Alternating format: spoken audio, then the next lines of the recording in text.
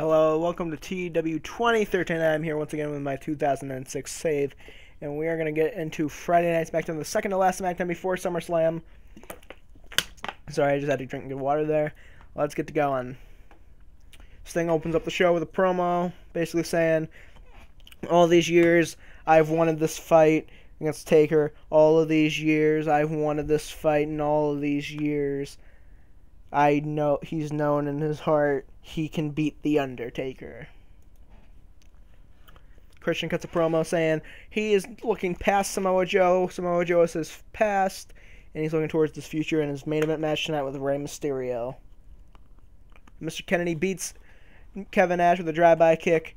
Um, after the match, he challenges Scott Hall for next week's SmackDown followed up by Undertaker promo basically saying that Sting has no chance at SummerSlam, and at SummerSlam, Sting will rest in peace. The Age of the Fall defeat the New Age Outlaws when Jimmy Jacobs defeated Billy Gunn by submission with the end of time, and that was a very good match compared to what I thought it would do.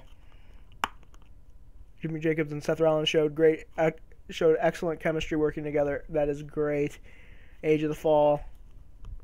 After the match, well, yeah, after that match, Brian Kendrick and Paul London cut a promo on Nitro Mercury saying that they're not going to back down at SummerSlam. They're going to retain the tag team titles.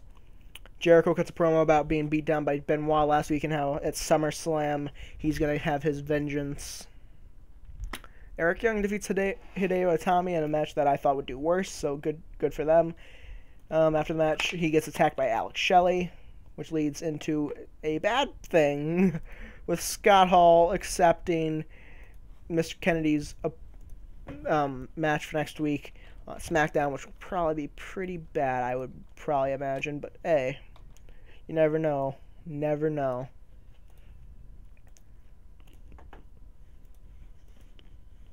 Samoa Joe wins a handicap match against Paul Burchill and the new generation, who is also aligned with Christian.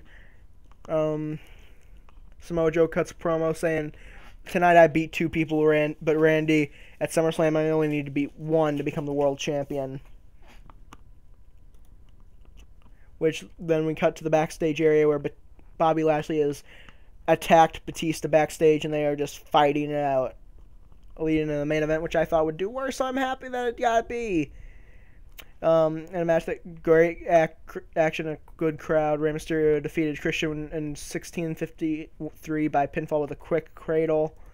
After the match, Randy Orton cuts a promo saying that at SummerSlam he's right that Samoa Joe was right earlier. You only have to beat one person to become the world champion, but that person is Randy Orton, and that person is better than those two men combined times ten and that Randy Orton's going to walk out of SummerSlam, which he claims is his show, as it is the show he won his first world title at, and that he is going to walk out the champ. The show got a B. Compared to last week, it didn't do too well, which got an A, but eh, it's fine. It's fine. I had another drink of water there. We're going to see what the email was. Okay. And we will be back next time for more TEW.